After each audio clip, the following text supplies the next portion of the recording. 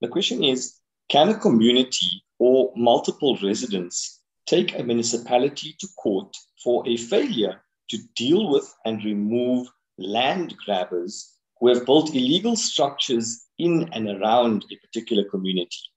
The proposed um, you know, action that these individuals, these residents will bring in court uh, is based on a rapid decrease in property value and potentially a strain on water and electrical supply due to an influx of persons into the area. Um, would such, uh, you know, an action by residents, uh, you know, be successful? I think uh, Bruno. Me, me. Okay, excellent. Um, I was waiting for that. Um, so, yeah, so, so, it's such an interesting question because I mean, it's it the, the, hijacking situation at the moment, especially of land and like illegal squatting and the like, is becoming so prevalent in the news.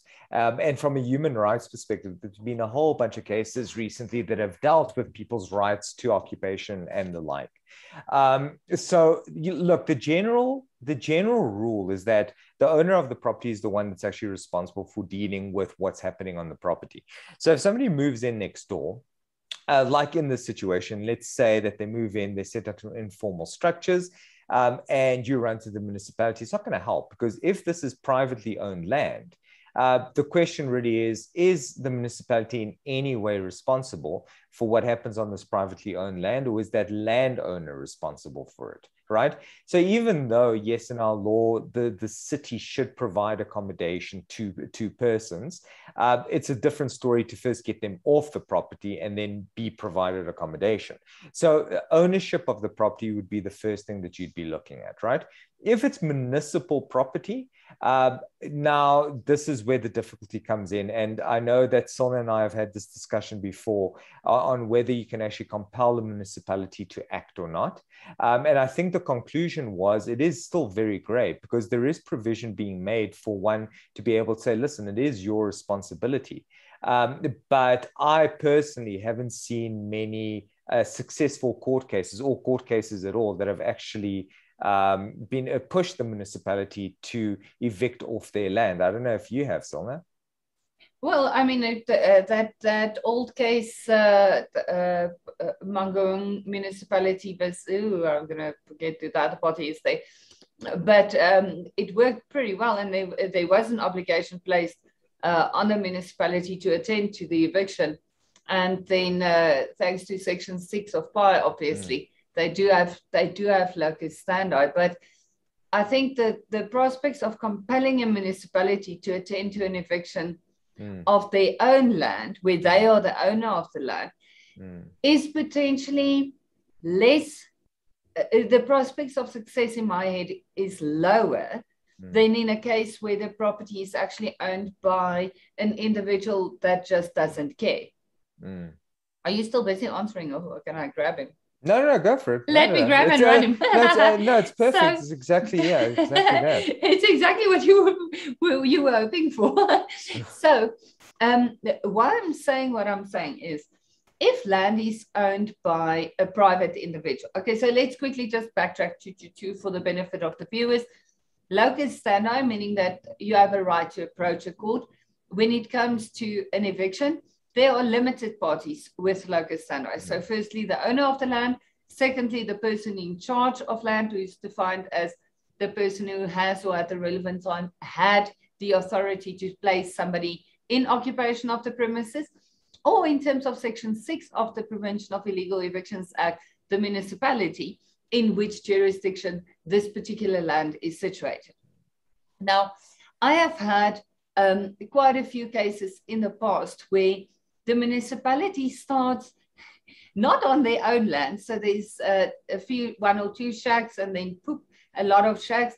And then they start installing services on this land that doesn't belong to them. And by services, I mean porta potties, Jojo tanks. Tonight's session will be called the Jojo tank session. Jojo tanks are water supply to the area, uh, toilets to the area, meaning that they're creating the impression with the people occupying the land that they may reside there and that it is actually a legal place to put up your shack and, and reside there. And in situations like that, I have actually been successful with proper cost orders against municipalities because they do this, because they sort of um, silently agreeing to this, like tacit consent to the illegal occupants. And now you can't expect the owner to pay for the eviction. But to this question, um, if the property, if we assume, Bruno, for, for this question's sake, that the property uh, belongs to a random third party owner, that just doesn't do the eviction. My course of action wouldn't be exclusively straight towards the municipality. I think the better action and the, and the better approach to this would be to approach the municipality and say, municipality, we don't know what to do. Will you please help us? Just always start with a letter or communication. Don't just run to court. Um, the court doesn't like it and nobody really likes it. So start with correspondence. If you get no response, the only option you ha would have, in my mind, would be to approach the court with all your applicants, so all the affected parties, no made up parties, actual real parties. Um, and we, you have two respondents there, the owner of the property as well as the municipality. And you ask for alternative prayers, compelling the owner to attend to the eviction and the municipality to assist with alternative accommodation.